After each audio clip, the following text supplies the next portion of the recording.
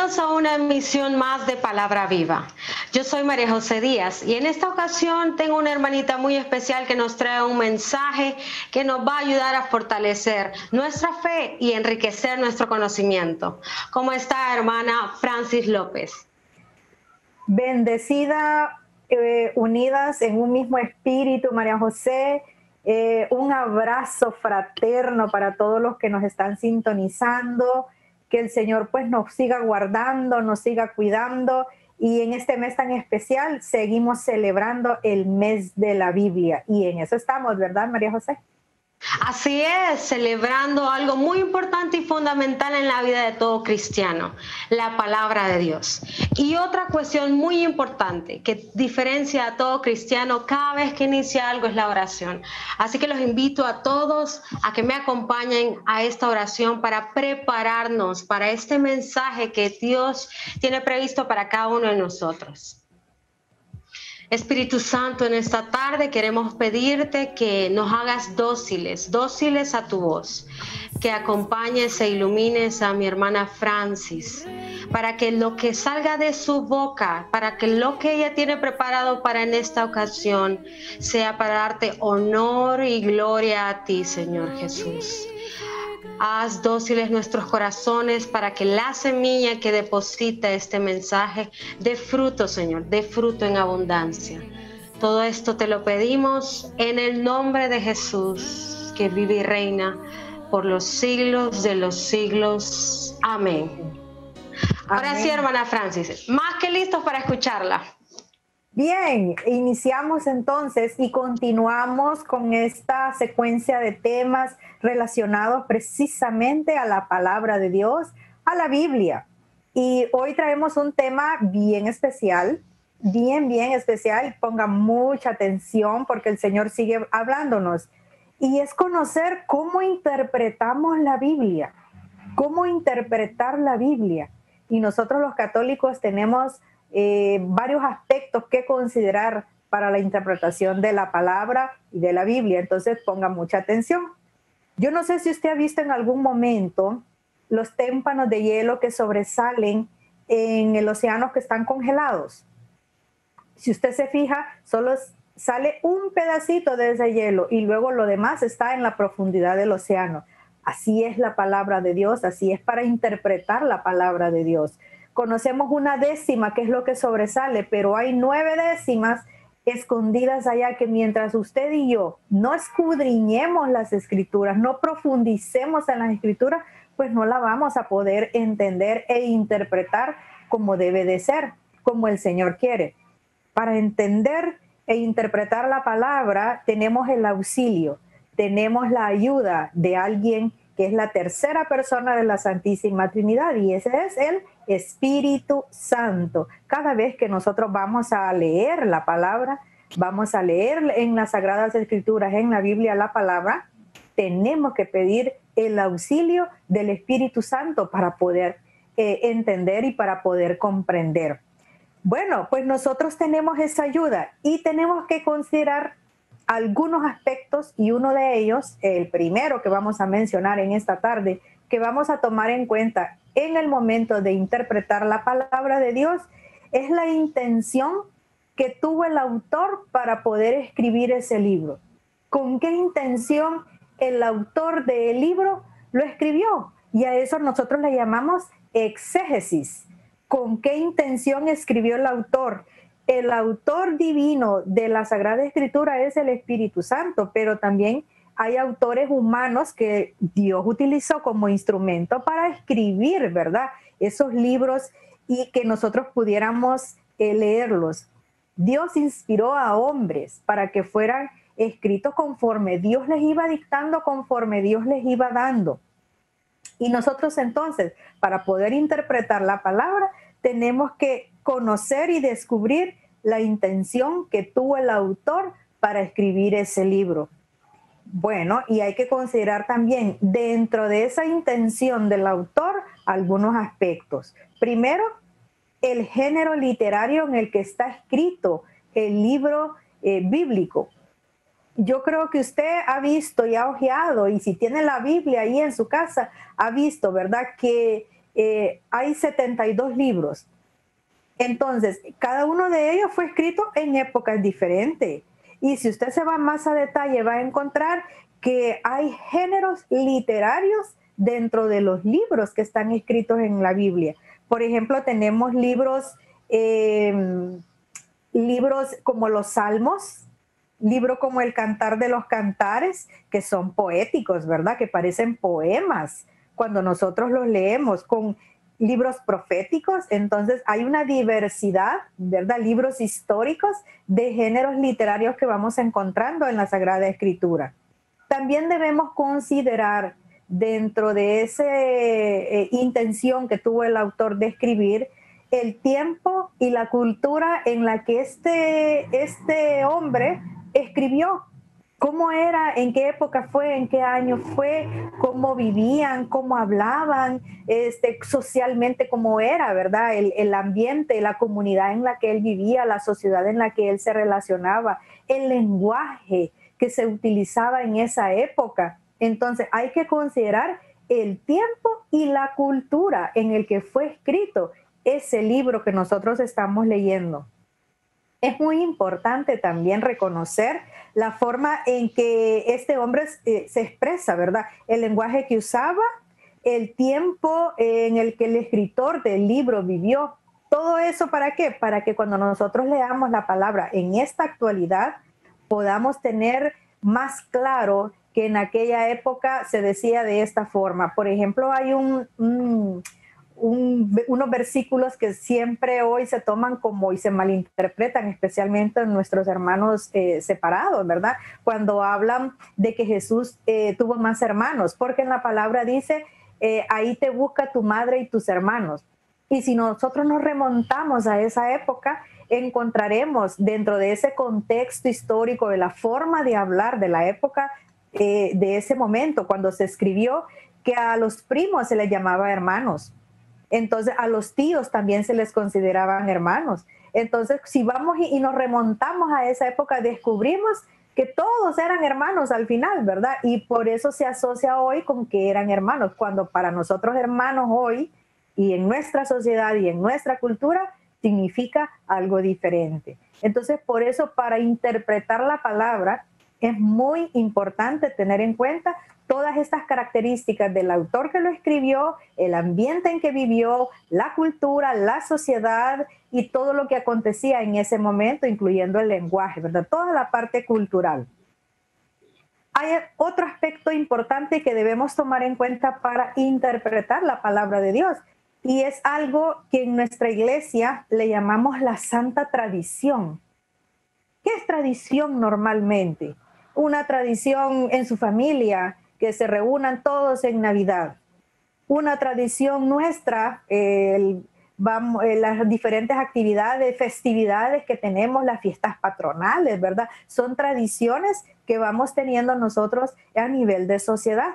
Bueno, para la interpretación de la palabra y de la Biblia, también hay que tomar en cuenta eh, la tradición, la santa tradición desde el comienzo del cristianismo se mantiene entre nosotros tradiciones que se fueron pasando de generación en generación antes de que se escribiera el Nuevo Testamento. Antes de que se escribiera el Nuevo Testamento, se fueron formando costumbres entre los cristianos, entre los primeros cristianos.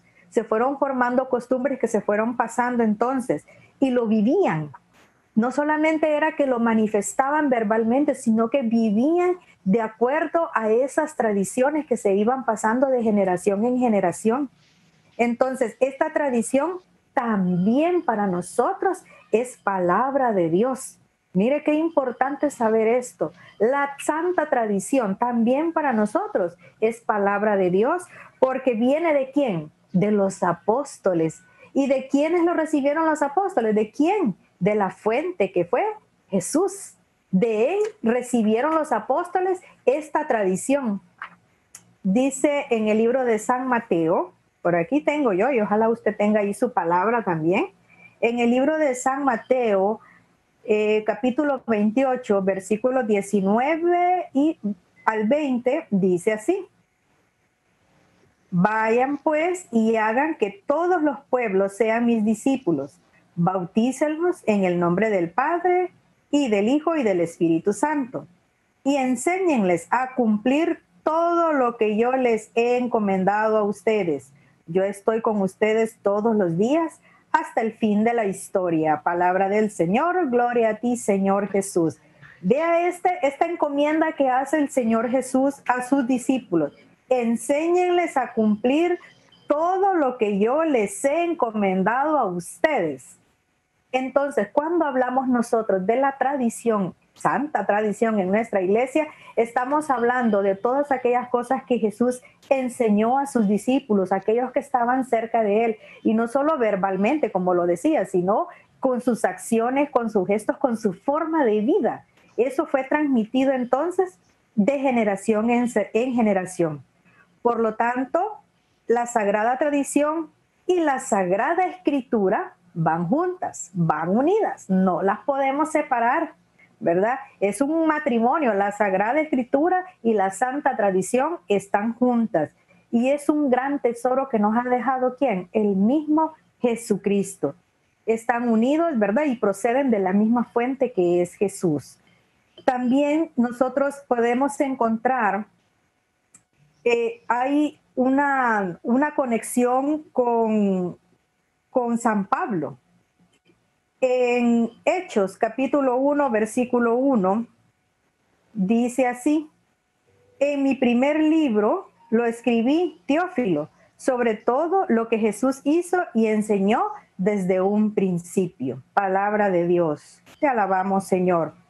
Pablo instruye a Timoteo y ya va a ver la relación que existe aquí para que transmita a otros y estos a otros. Y así se va generando entonces esa, esa cadena, esa transmisión del conjunto de creencias, de prácticas cristianas que se vivieron desde la época de los apóstoles.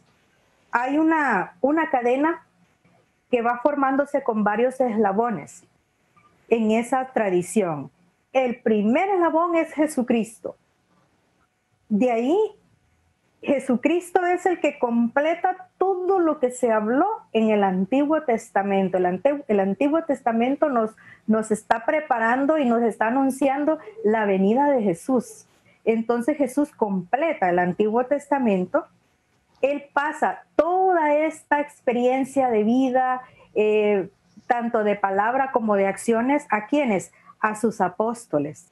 Y los apóstoles lo que ellos recibieron se lo transmiten y en este caso vamos a mencionar a Pablo, porque Pablo hace referencia en la palabra de esa transmisión de lo que él ha recibido. San Pablo viene y le escribe a Timoteo y le dice, cuenta, da a conocer lo que has recibido de parte mía. Y pásaselo, dice, a hombres que merezcan confianza, le dice Pablo a Timoteo. Toda esta tradición, toda esta palabra, toda esta vivencia cristiana, pásasela a aquellos hombres que merezcan confianza, hombres fieles, dice la palabra de Dios. ¿Y quiénes serán esos hombres fieles, esos hombres merecedores de confianza ya en esta época? Pues podríamos hablar de obispos, de sacerdotes, del pueblo de Dios. Usted y yo somos parte del pueblo de Dios de ese pueblo de Dios actual, ¿verdad? Que somos nosotros, y de ese pueblo de Dios futuro, que viene más adelante. También, entonces, esa es la forma de transmitir esta santa tradición que va generándose y que hay muchas formas de transmitirla, por ejemplo, a través de las celebraciones, donde hay sacramentos, donde se anuncia y se, y se proclama la palabra de Dios, también hay forma de manifestarla en las obras de vida que cada uno de nosotros va realizando. También esa palabra de Dios se va manifestando a través de la doctrina. ¿Y qué es eso de la doctrina? Bueno, la doctrina es, son las enseñanzas en donde no solo se transmite el mensaje de Jesús, sino que se explicaba de la mejor manera para que fuera comprendido a nivel ya personal, en la vida personal. Entonces, mire, ya vamos viendo dos elementos, ¿verdad? Dentro de la comprensión de la palabra de Dios. Primero, la intención con que el autor escribió y vimos algunas características de eso. Segundo, la santa tradición. Y vamos a ver la tercera. La tercera es el magisterio de la iglesia. Hemos oído y escuchamos muchas veces a los sacerdotes, a los obispos, al papa hablar del magisterio de la iglesia. ¿Qué significa el magisterio de la iglesia? Es el que custodia, es el que cuida la palabra de Dios, la palabra escrita y la palabra vivida. El magisterio de la iglesia entonces nos ayuda a nosotros a interpretar lo que dice, para no tergiversar, para no poner mis gustos en la palabra, para no interpretarla a mi manera o como yo quiera. El magisterio de la iglesia me ayuda a mí, ¿verdad? A no salirme de, de, donde debo ser para poder interpretar adecuadamente y correctamente la palabra. Entonces el magisterio nos ayuda a que a proteger, a proteger las verdades y las prácticas de la vida cristiana. En eso nos ayuda entonces el magisterio, para mantenernos fieles a esa palabra, para que no, y la misma palabra dice, no cambiar ni una coma ni un punto, ¿verdad? Entonces el magisterio de la iglesia guarda con exactitud y fidelidad esa palabra, tanto la palabra que viene de la tradición como de la palabra escrita. Entonces vea qué importante el magisterio de la iglesia. Entonces tenemos que la Biblia, la tradición, el magisterio de la iglesia son tres elementos para poder interpretar la palabra. Y tenemos que estar nosotros muy conectados a ellos y no verlo por encima, sino profundizar en la palabra de Dios como ese iceberg, ¿verdad? Irnos eh, eh, al fondo para poder entenderla mejor. Y esa palabra va de acuerdo a lo que Jesús solicitó a sus apóstoles de ir pasando de generación en generación, ¿verdad? Todo lo que él había enseñado, todo lo que habían vivido, todo lo que él había realizado por los siglos.